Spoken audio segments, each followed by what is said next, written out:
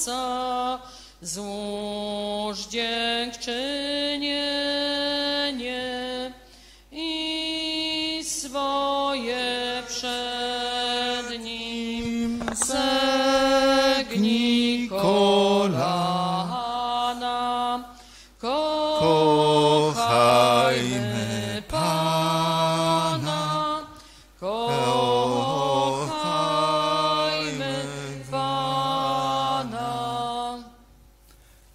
imię Ojca i Syna i Ducha Świętego. Amen. Pan z wami. I z duchem Twoim. Można być mądrym i roztropnym w ocenie ludzkiej, w oczach tego świata, na swoją korzyść. Ale prawdziwie mądrym i roztropnym jest ten, kto myśli, mówi, przeżywa, planuje, podejmuje decyzje, dokonuje wyborów w oparciu o Chrystusa i Jego naukę. Przyszliśmy tu dzisiaj, aby słuchać słowa i karmić się ciałem, aby w swoim życiu żyć na wzór Jezusa. Na początku, jak zawsze, przeprośmy Jezusa, Boga, za nasze grzechy. Spowiadam się Bogu Wszechmogącemu i Wam, bracia i siostry, że bardzo zgrzeszyłem myślą, mową, uczynkiem i zaniedbaniem. Moja wina, moja wina, moja bardzo wielka wina. Przeto błagam Najświętszą Maryję, zawsze dziewicę, wszystkich aniołów i świętych i was, bracia i siostry, o modlitwę za mnie. Do Pana Boga naszego. Niech się zmiłuje nad nami Bóg Wszechmogący i odpuściwszy nam grzechy, doprowadzi nas do życia wiecznego. Panie, zmiłuj się nad nami. Panie, zmiłuj się nad nami. Chryste, zmiłuj się nad nami. Chryste,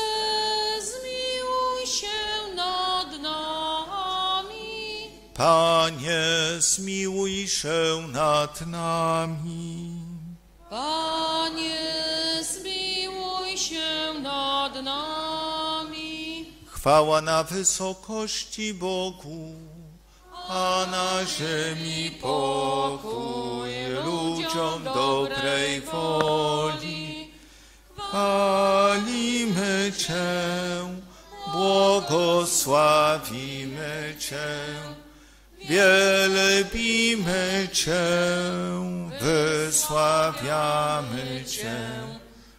Dzięki Ci składamy, bo wielka jest chwała Twoja.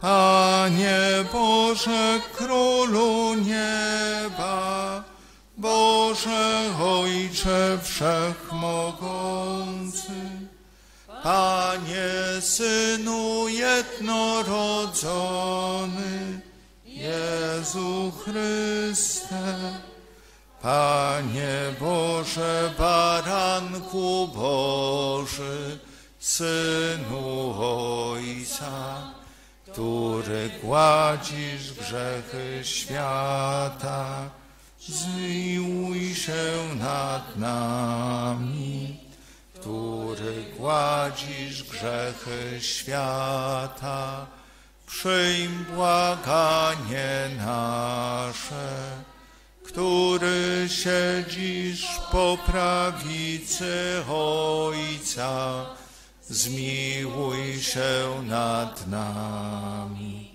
Albowiem tylko Tyś jest święty, tylko Tyś jest Panem, tylko Tyś najwyższy, Jezu Chryste z Duchem Świętym w chwale Boga Ojca. Tę najświętszą ofiarę sprawuję w intencji świętej pamięci Jadwigi, Edmunda i Jerzego Budnych, prosząc dla nich o dar życia wiecznego. Módlmy się. Boże, Ty przez uniżenie się Twojego Syna podźwignąłeś upadłą ludzkość. Udziel swoim wiernym duchowej radości i spraw, aby oswobodzeni z niewoli grzechu osiągnęli wieczne szczęście. Przez naszego Pana Jezusa Chrystusa, Twojego Syna, który z Tobą żyje i króluje w jedności Ducha Świętego, Bóg przez wszystkie wieki wieków.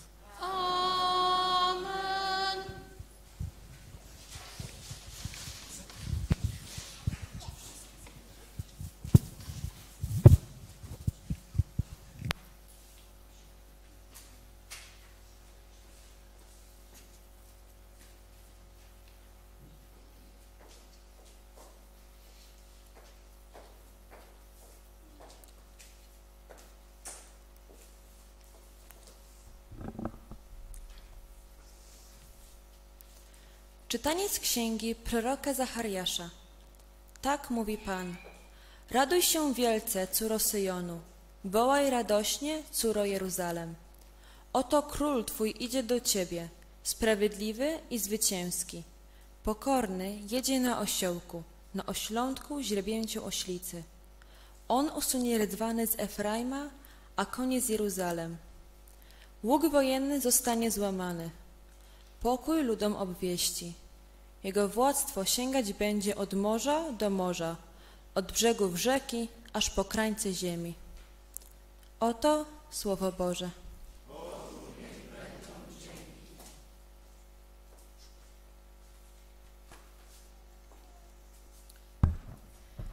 Będę Cię wielbił, Boże mój i Królu.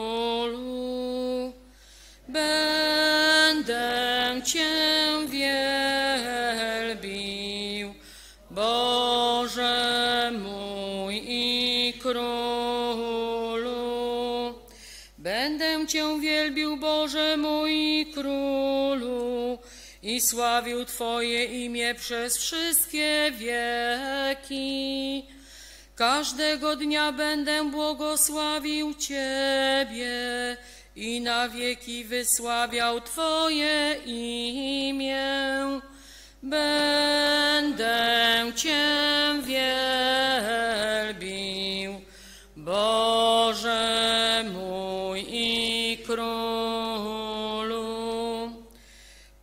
jest łagodny i miłosierny, nieskory do gniewu i bardzo łaskawy.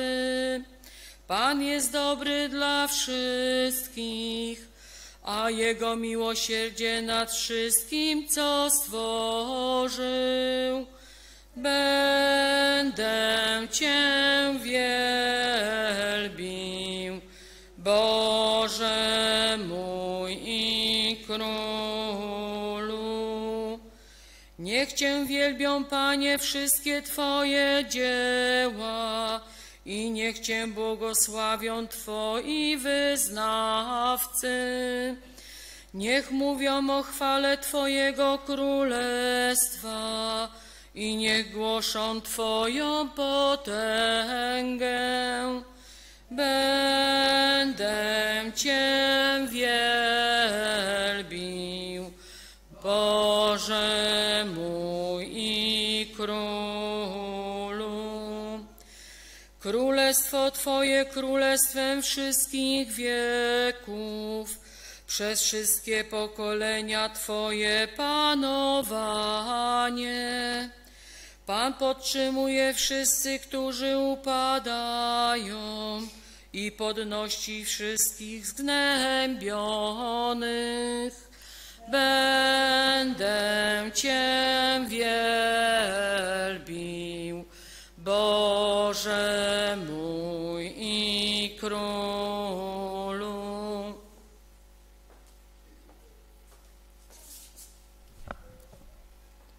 Czytając listu świętego Pawła Apostoła do Rzymian. Bracia, wy nie żyjecie według ciała, lecz według ducha, jeśli tylko Duch Boży was mieszka. Jeżeli zaś ktoś nie ma Ducha Chrystusowego, ten do niego nie należy. A jeżeli mieszka w was duch tego, który Jezusa wskrzesił z martwych, to ten, co wskrzesił Chrystusa Jezusa z martwych, przywróci do życia wasze śmiertelne ciała mocą mieszkającego was swego ducha. Jesteśmy więc, bracia, dłużnikami, ale nie ciała, byśmy żyć mieli według ciała. Bo jeżeli będziecie żyli według ciała, czeka was śmierć. I jeżeli zaś przy pomocy ducha zadawać będziecie śmierć popędom ciała, będziecie żyli. Oto Słowo Boże.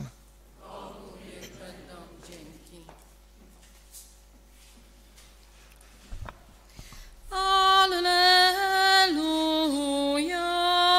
Alleluja,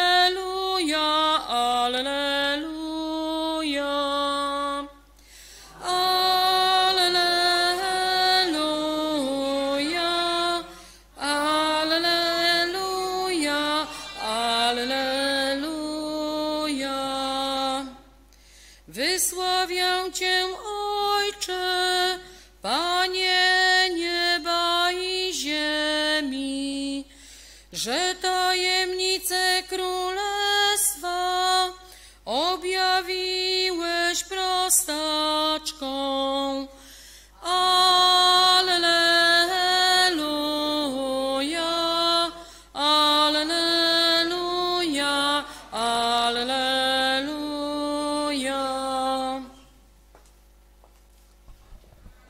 Pan z wami. Słowa Ewangelii według świętego Mateusza.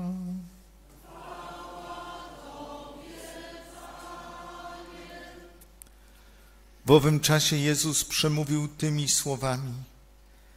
Wysławiam Cię, Ojcze, Panie nieba i ziemi, że zakryłeś te rzeczy przed mądrymi i roztropnymi, a objawiłeś je prostaczkom.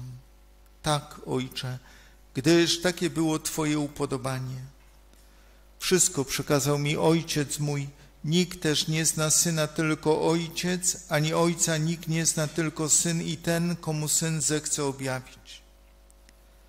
Przyjdźcie do mnie wszyscy, którzy utrudzeni i obciążeni jesteście, a ja was pokrzepię. Weźmijcie na siebie moje jarzmo i uczcie się ode mnie, bo jestem cichy i pokornego serca, a znajdziecie ukojenie dla dusz waszych. Albowiem słodkie jest moje jarzmo, a moje brzemię lekkie. Oto słowo Pańskie. Tobie.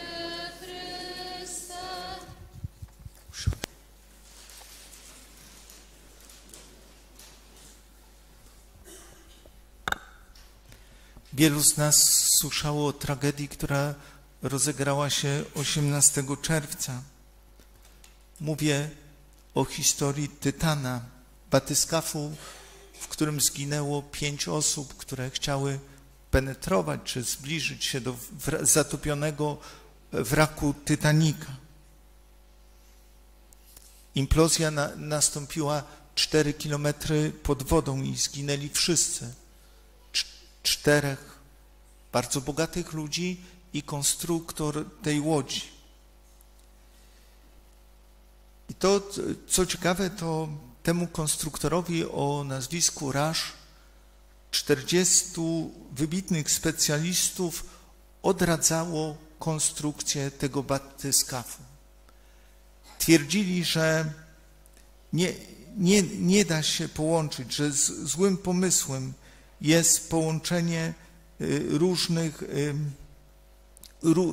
różnych materiałów, że to nie, nie będzie razem w ogóle ws- współpracowało, że tytan i włókno węglowe nie, nie są do, cie, do siebie jakby stworzone. Ale on był uparty i, i mówił, że nikogo nie musi się słuchać. Nie dał sobie nic powiedzieć. I w tym przypadku spełniło się to powiedzenie, że pycha, to, pycha bierze przed upadkiem. Dzisiaj Jezus w Ewangelii mówi o prze, przeciwieństwie pychy, czyli mówi o pokorze.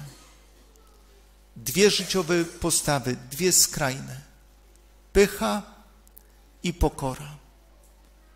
Najczęściej zagraża nam pycha, jako jakieś zadufanie, arogancja, buta. To dobrze wyraża takie po, powiedzenie w języku angielskim o, o człowieku. He is full of, of himself. Jest pełny samego siebie. Ktoś jest pełny siebie.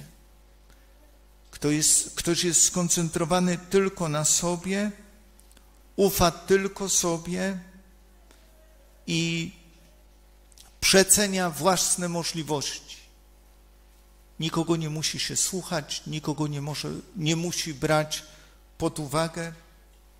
Często taka, taka postawa prowadzi do upadku człowieka, do popełnienia wielkich błędów. A Jezus w Ewangelii dziś mówi: Przyjdźcie do mnie wszyscy, bo jestem cichy i pokornego serca. I to, do czego jest zaproszony każdy chrześcijanin, to do trudnej sztuki uczenia się pokory.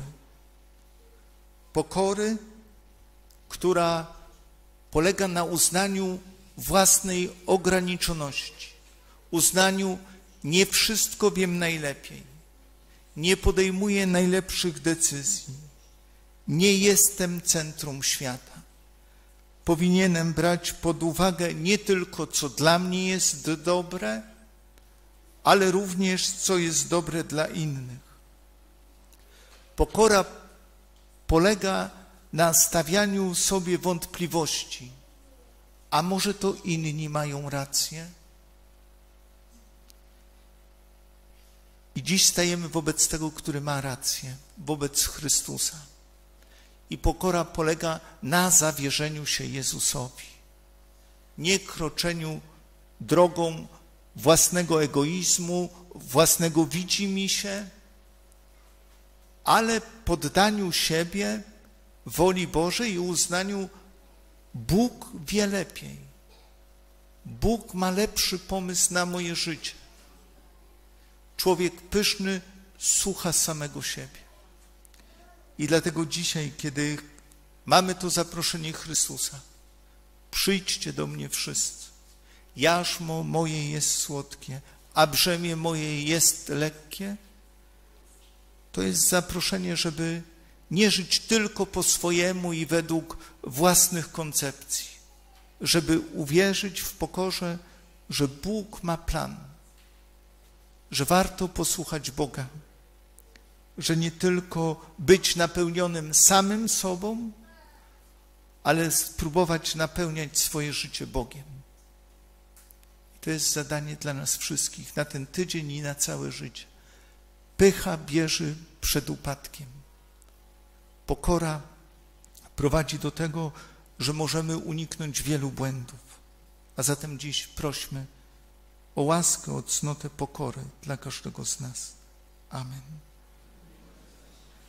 Wierzę w jednego Boga, Ojca Wszechmogącego, Przełożyciela nieba i ziemi, wszystkich rzeczy widzialnych i niewidzialnych, w jednego Pana Jezusa Chrystusa, Syna Bożego jednorodzonego, który z Ojca jest zrodzony przed wszystkimi wiekami. Bóg z Boga, światłość ze światłości, Bóg prawdziwy z Boga prawdziwego, zrodzony, a nie stworzony, współistotny Ojcu, a przez Niego wszystko się stało.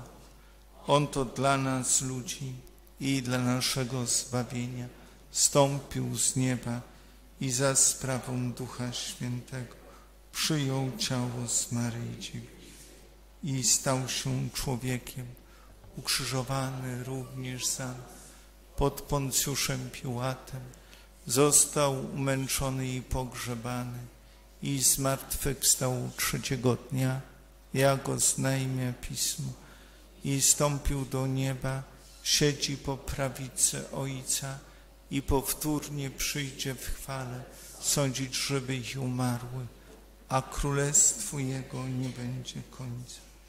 Wierzę w Ducha Świętego, Pana i Ożywiciela, który od Ojca i Syna pochodzi, z Ojcem i Synem wspólnie odbiera uwielbienie i chwałę, który mówił przez proroków.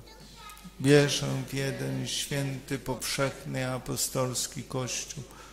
Wyznaję jeden chrzest na odpuszczenie grzechów i oczekuję wskrzeszenia umarłych i życia wiecznego w przyszłości. Chrystus przez swoje zmartwychwstanie jest sprawiedliwym i zwycięskim królem. Zgromadzeni w Jego imię zanośmy do Boga prośbę o pomoc i radość życia dla wszystkich. Módlmy się za papieża Franciszka i naszego biskupa Andrzeja, za wszystkich biskupów i prezbiterów. Niech z pokorą i miłością niosą do ludzi wiarę i pokój. Ciebie prosimy. Wysłuchaj nas, Panie. Módlmy się o pokój dla świata. Módlmy się o pokój dla Ukrainy. Niech wszyscy ludzie otworzą drzwi dla Jezusa, Króla Pokoju. Ciebie prosimy. Módlmy się za przygniecionych ciężarami życia. Niech Pan umocni ich nadzieję, a ludzie udzielą im wsparcia. Ciebie prosimy. Wysłuchaj nas, Panie.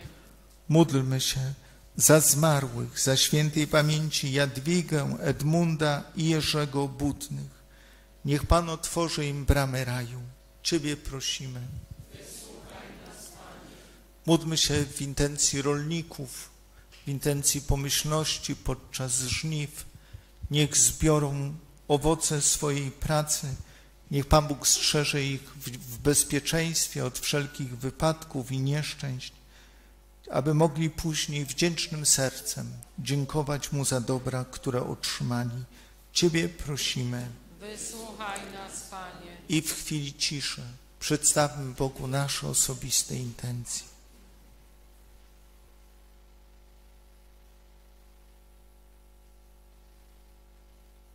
Ciebie prosimy.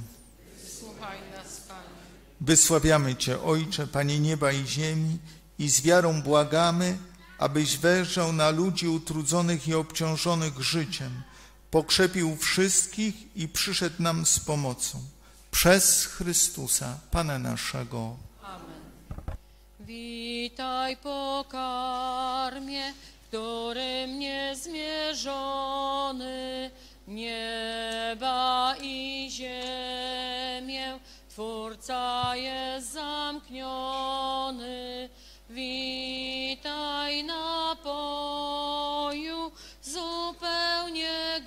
gaszący, umysł pragnący. Witaj krynico wszystkiego dobrego, gdy bowiem w sobie masz Boga samego, znasz ludziom wszystkie Jego wszechmocności, niesiesz godności. Witaj z niebiosów, manno padająca, rozkoszny w sercu naszym smak czyniąca. Wszystko na świecie, co jedno smakuje, w tym się najduje. Witaj rozkoszne z ogrodu rajskiego, drzewo owocu pełne żywiącego. Kto cię skosztuje, śmierci się nie boi, choć nad nim stoi. Módlcie się, aby moją i waszą ofiarę przyjął Bóg, Ojciec Wszechmogący. cześć i chwałę swojego imienia, a także na pożytek nasz i całego Kościoła Świętego. Panie nasz Boże, niech nas oczyści ofiara, którą Tobie składamy i niech z dnia na dzień doskonali nas w prowadzeniu życia godnego nieba przez Chrystusa Pana naszego. Amen. Pan z Wami, górę serca. znosimy je do Pana. Dzięki składajmy Panu Bogu naszemu. Godne to i sprawiedliwe. Zaprawdę godne to i sprawiedliwe, a dla nas zbawienne, abyśmy Tobie składali dziękczynienie i Ciebie wychwalali, Panie Ojcze Niebieski, Wszechmogący i miłosierny Boże, przez naszego Pana Jezusa Chrystusa. On bowiem, litując się nad grzesznymi ludźmi, narodził się z Maryi Dziewicy. Przez swoją mękę na krzyżu wybawił nas od śmierci wiecznej, a zmartwychwstając dał nam wieku iste życie. Dlatego z aniołami, archaniołami oraz ze wszystkimi chórami niebios głosimy Twoją chwałę razem z nimi wołając. Święty, święty, święty, Pan Bóg zastępów, pełne są niebiosa i ziemia chwały Twojej. Hosanna na wysokości, błogosławiony,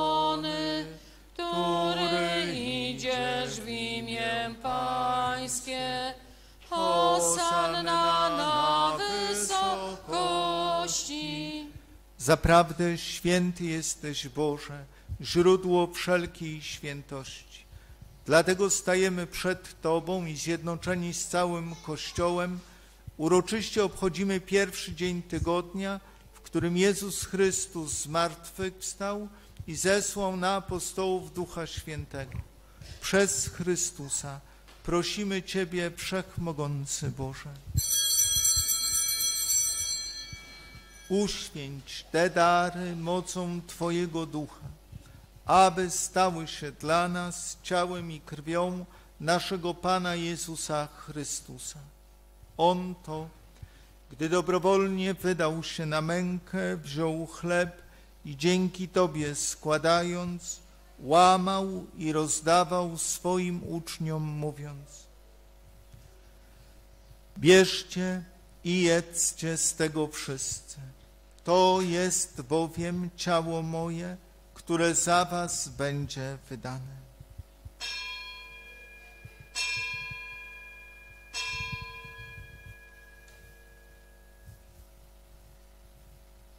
Podobnie po wieczerzy wziął kielich i ponownie dzięki Tobie składając podał swoim uczniom, mówiąc Bierzcie i pijcie z niego wszyscy.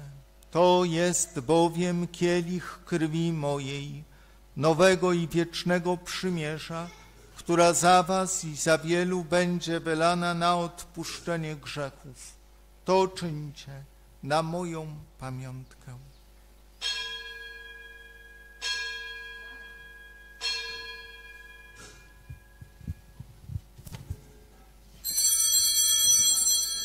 Oto wielka tajemnica wiary. Głosimy śmierć Twoją, Panie Jezu. Wyznajemy Twoje zmartwychwstanie i oczekujemy Twego przyjścia chwale. Wspominając śmierć i zmartwychwstanie Twojego Syna, ofiarujemy Tobie, Boże, chleb życia i kielich zbawienia. I dziękujemy, że nas wybrałeś, abyśmy stali przed Tobą i Tobie służyli. Pokornie błagamy, aby Duch Święty zjednoczył nas wszystkich przyjmujących ciało i krew Chrystusa. Pamiętaj, Boże, o Twoim Kościele na całej ziemi. Spraw, aby lud Twój wzrastał w miłości. Razem z naszym papieżem Franciszkiem, naszym biskupem Andrzejem oraz całym duchowieństwem. Pamiętaj także o naszych zmarłych braciach i siostrach, którzy zasnęli z nadzieją zmartwychwstania, o Jadwidze, Edmundzie, Jerzym i o wszystkich, którzy w Twojej łasce odeszli z tego świata. Dopuść ich do oglądania Twojej światłości. Prosimy Cię, zmiłuj się nad nami wszystkimi i daj nam udział w życiu wiecznym z Najświętszą Bogu Rodzicą, Dziewicą Maryją, ze świętym Józefem, jej oblubieńcem, ze świętymi apostołami, ze świętym Antonim z Padwy i wszystkimi świętymi, którzy w ciągu wieków podobali się Tobie, abyśmy z nimi wychwalali Ciebie przez Twojego Syna Jezusa Chrystusa. Przez Chrystusa, z Chrystusem i w Chrystusie, Tobie, Boże Ojcze Wszechmogący, w jedności Ducha Świętego, wszelka cześć i chwała przez wszystkie wieki wieków. Amen. Pouczeni przez Zbawiciela i posłuszni Jego słowom, ośmielamy się mówić. Ojcze Nasz, któryś jest w niebie, święć się imię Twoje, przyjdź królestwo Twoje, bądź wola Twoja, jako w niebie, tak i na ziemi. Chleba naszego powszedniego daj nam dzisiaj i odpuść nam nasze winy, jako i my odpuszczamy naszym winowajcom. I nie wódź nas na pokuszenie, ale nas. Wybaw nas, Panie, od zła wszelkiego i obdarz nasze czasy pokojem.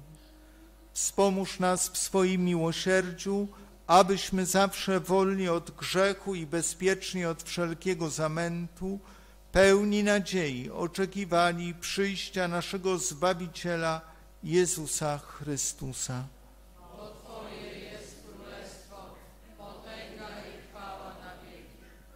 Panie Jezu Chryste, Ty powiedziałeś swoim apostołom, pokój Wam zostawiam, pokój mój Wam daję.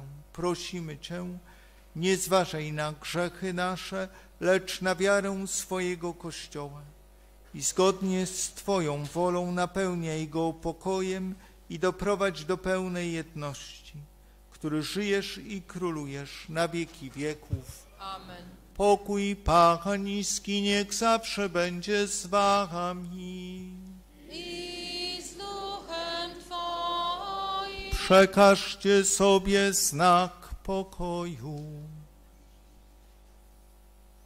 Baranku Boży, który gładzisz grzechy świata, zmiłuj się nad nami.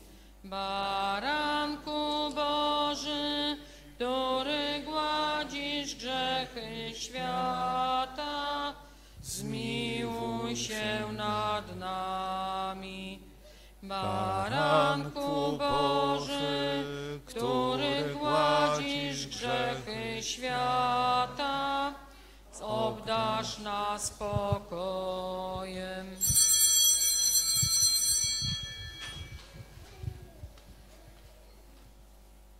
Oto baranek Boży, który gładzi grzechy świata. Błogosławieni, którzy zostali wezwani na Jego ucztę. Panie, nie jestem godzien, abyś przyszedł do mnie, ale powiedz tylko słowo a będzie uzdrowiona dusza moja.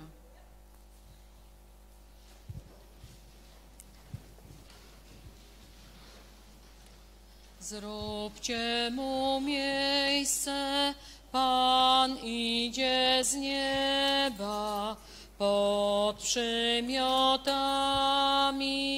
ukryty chleba, zagrody nasze widzieć przychodzi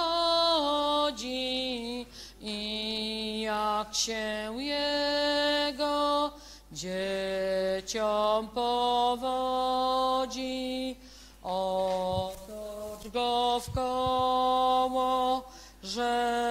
Rzeszo wybrana, przed Twoim Bogiem. Zginaj kolana, pieśń chwały Jego, śpiewaj z weselem,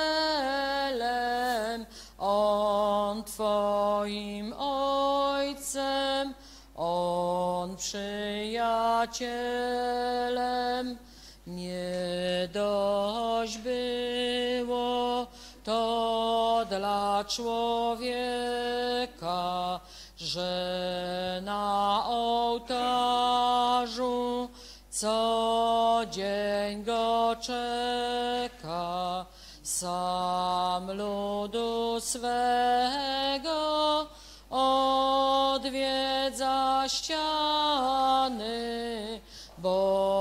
pragnie bawić między ziemiany, zielem kwiatami, ścielcie mu drogi, którędy pańskie iść będą nogi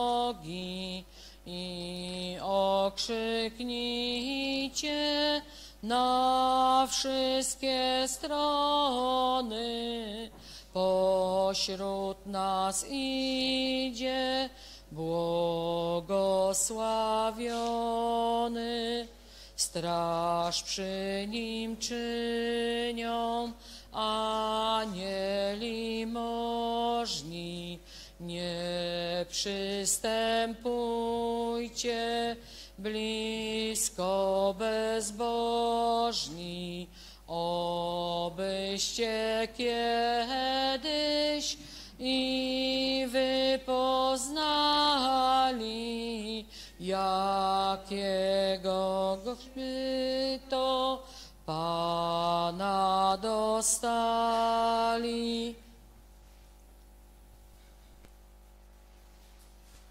Niech żyje zawsze w sercu mym. Niech żyje Jezus zawsze w sercu mym. Na zawsze, na zawsze, na zawsze w sercu mym. Na zawsze, na zawsze, na zawsze w sercu mym.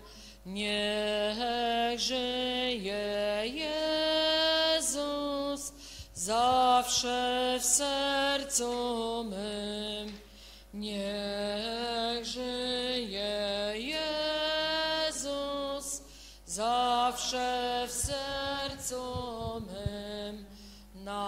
Zawsze, na zawsze, na zawsze w sercu mym. Na zawsze, na zawsze, na zawsze w sercu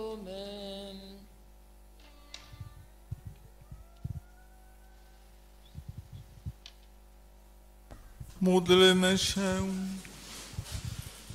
Pośleni tak wielkimi darami prosimy Cię, Boże, spraw, abyśmy korzystali z łaski dającej zbawienie i nigdy nie przestawali Cię wielbić przez Chrystusa Pana naszego. Amen. Usiądźmy.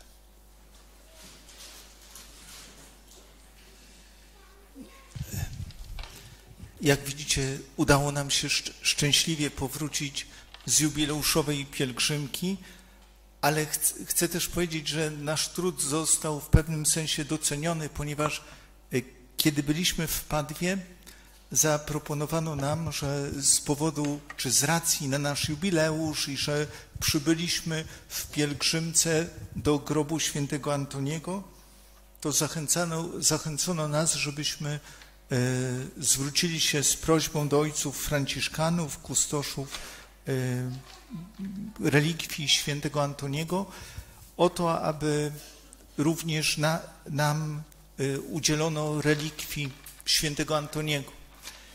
I zwróci, zwrócimy się e, z pismem do Padwy, tylko jeszcze trzeba w tym piśmie mieć potwierdzenie księdza arcybiskupa, metropolity, ale wystosujemy taką prośbę o to, abyśmy w naszym kościele mieli relikwie świętego Antoniego z Padwy. Także prawdopodobnie nie wracamy z pustymi, z gołymi rękami. Coś dla wspólnoty przywieźliśmy. Dla nas było to, myślę, że duże i, i dobre doświadczenie.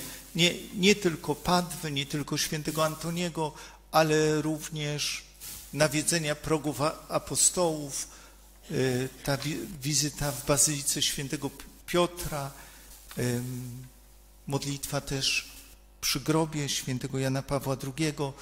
Zresztą zachęcam, żeby dopytywać uczestników pielgrzymki, co najbardziej przeżyli, co im najbardziej utkwiło w pamięci, czego najbardziej doświadczyli.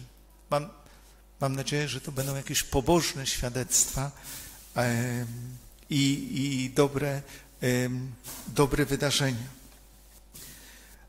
A z, z naszych lokalnych spraw ba, bardzo dziękuję za posprzątanie kościoła i ofiarę na y, energię elektryczną pani Zofii Lewickiej i całej rodzinie y, Nowaków.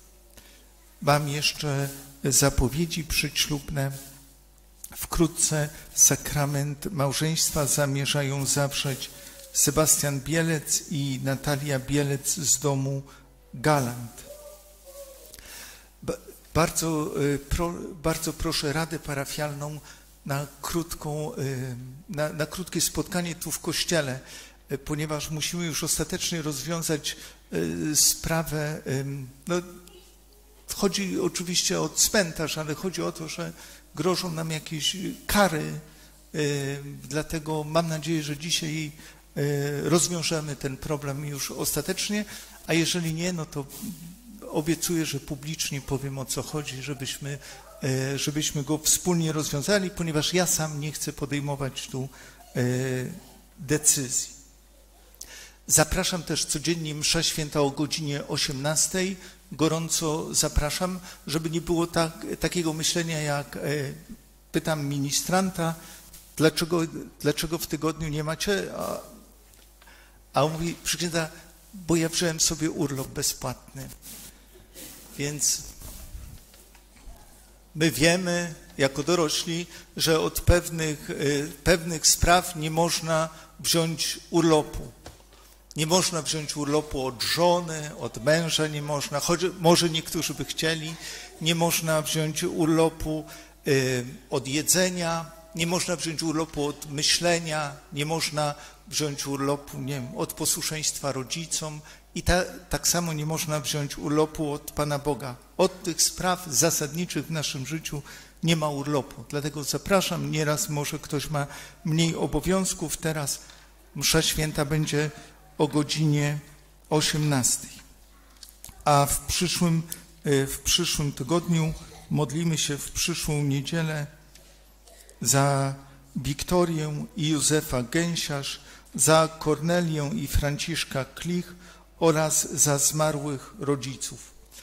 E, Wszystkim uczestnikom pielgrzymki też chcę e, bardzo podziękować za, za bardzo dobrą atmosferę, za bardzo wielką subordynację, punktualność, taki takt, wielką kulturę, że to wszystko odbyło się naprawdę wzorowo i be, bez żadnych incydentów. Myśl, myślę, że to też było piękne świadectwo naszego życia, na, nasz, naszego em, posługiwania się w życiu wartościami chrześcijańskimi.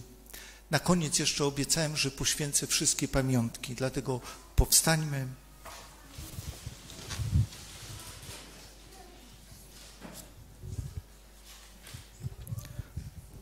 Wspomożenie nasze w imieniu Pana, który stworzył niebo i niech imię Pańskie będzie błogosławione. teraz i na wieki. Módlmy się. Panie Jezu Chryste, Ty nas powołałeś przez chrzest i bierzmowanie do dawania świadectwa wiary przed ludźmi. Prosimy Cię, pobłogosław te wszystkie oznaki religijne. Nosić je będziemy jako wyraz naszej wiary i modlić się za ich pomocą. Umacniaj wszystkich zaufanie i wierność ku Tobie i doprowadź do Królestwa, gdzie z Ojcem i Duchem Świętym żyjesz i królujesz na wieki wieków. Amen.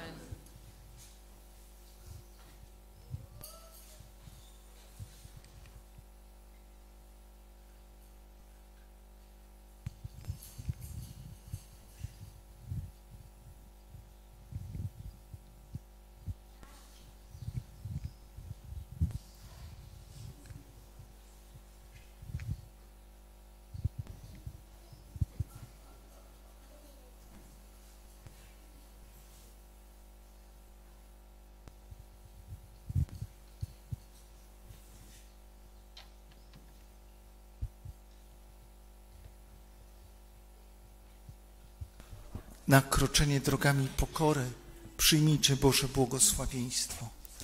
Pan z Wami, I z duchem Twoim niech Was błogosławi Bóg Wszechmogący, Ojciec i Syn i Duch Święty.